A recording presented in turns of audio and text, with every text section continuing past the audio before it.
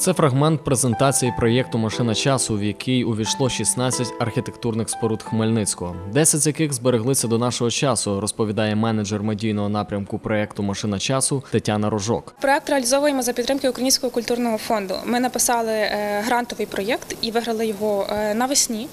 Е, І загальний термін реалізації проекту це 6 місяців. Ми показуємо вже деякі унікальні споруди, які вдалося промалювати детально, які користувач зможе побачити детально в машині часу, якою буде саме ця 3D-модель. В роботі над проєктом було залучено більше 10 людей, додає Тетяна Рожок. Ми залучаємо людей, акторів, які відтворюють епоху і атмосферу того періоду, коли ця будівля була збудована, і якою було її першочергове е, призначення. Щоб відтворити архітектурні споруди у 3D-зображенні і написати історію архітектурних пам'яток, зверталися за допомогою до істориків та краєвзнавців, розповідає менеджер медійного напрямку проєкту. 16 детальних об'єктів, які ми промальовуємо, будуть містити, будуть мати е, в супроводі свої аудіоролики.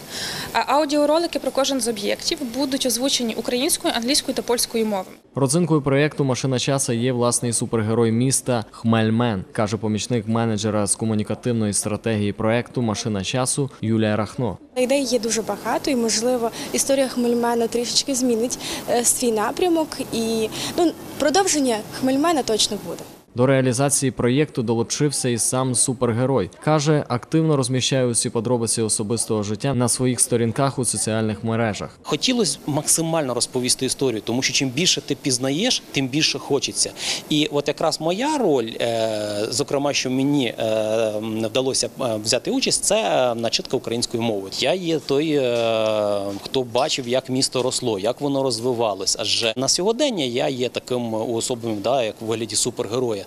А раніше я з'являвся, ходив по місту, дивився, спостерігав таким інколи безтілесним, інколи тілесним вигляді. Відвідати машину часу можна буде 26 вересня. Локація розташовуватиметься неподалік кінотеатру імені Тараса Шевченка. Решта подробиць організатори тримають у секреті.